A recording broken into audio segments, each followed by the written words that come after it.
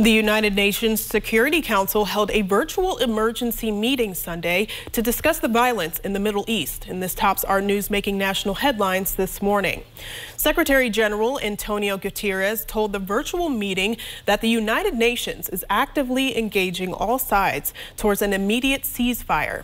Guterres warned that the most serious escalation in violence in Gaza in years only perpetrates or perpetuates the cycles of death, destruction, and despair, and pushes farther to the horizon any, of any hopes, coexistence, and peace.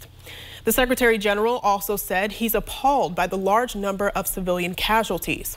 Israeli airstrikes on, on Gaza City Sunday killed at least 26 people, making it the deadliest single attack since heavy fighting broke out between Israel and Hamas a week ago. Today's the deadline for filing your 2020 tax return if you procrastinated for an extra month. The original filing and payment due date was April 15th, but the IRS pushed the deadline to May 17th. The move gives individual filers, tax preparers, and the IRS itself more time to sort through the many changes affecting one's 2020 taxes from the latest COVID relief package. Unless you choose to file for an extension, you must file and pay any remaining federal income taxes you owe for 2020 by today.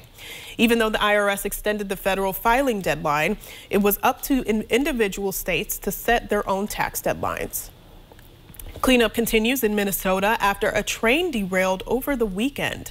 The Union Pacific train went off the tracks on Saturday, leaving 28 train cars overturned. Two of the cars leaked hydraulic acid, acid according to officials.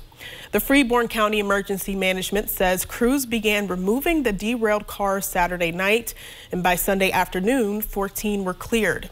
Officials say they are continuing to monitor the area's air and waterways following the incident. There were no injuries reported in the, in the derailment, and it's unclear what led to the crash.